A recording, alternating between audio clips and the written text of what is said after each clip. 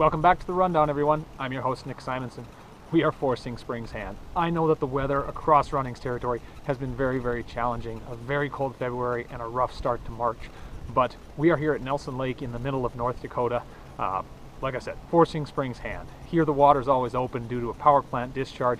We are identifying holding pockets for one of my favorite early spring uh, fishing targets, and that's bull bluegills. And we're finding a lot of nice ones from that 8 to 10 inch range on the top end, but consistently in that 7 to 8, keeping things enjoyable, keeping things exciting.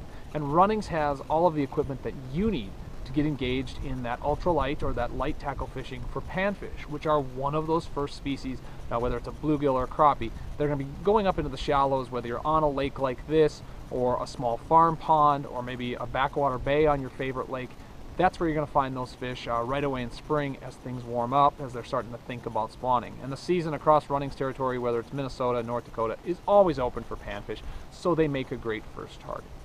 Stop at your local Runnings to pick up a micro reel and spool it with something thin. You want that three pound test, that four pound test. Uh, that way the big eyes of like crappies and bluegills aren't going to see uh, what you're using. They're not going to see a big thick line and be turned off. Additionally, you want to invest in some jigs. You want to get uh, those small jigs, those flu-flu type jigs, or them smaller Northland uh, gypsy jigs to get on the fish uh, that you're after, whether it's crappies or bluegills. You want to be all set up and ready to roll as soon as things get better in the outdoors, as soon as this snow melts away and, and things improve, you're going to be on fish because you will have the right gear. Additionally, you want to remember the water. You want to remember uh, how to read things. Obviously, we've been snowbound for quite a while, and a lot of us have been fishing the hard water for the last three months. Uh, so it's, again, getting used to uh, seeing how flowing water works, uh, watching for those increases in temperature, and targeting those breaks as those fish move up in spring.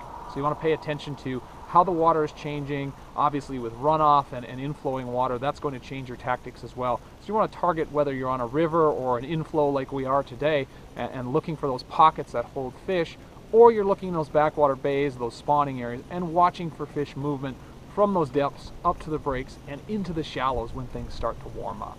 If you stop in local runnings, the friendly staff there will have tips and tactics for water bodies in your immediate area because these are the folks who know what's going on.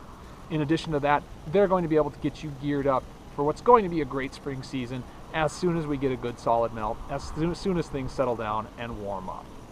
So stop in at your local runnings, talk to the folks there, get the jigs, that ultralight line uh, in that four pound test, and, and, a rod, you know, six foot rod, five foot rod, the, the, the rods that will give you the sensitivity uh, to connect with these fish and enjoy this time of year as soon as you can get out.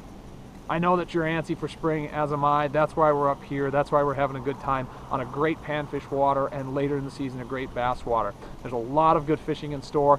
Hold out a little bit longer. I promise you spring will be here eventually. And when it comes, you'll be ready. For the rundown, I'm Nick Simonson. Good fishing to you.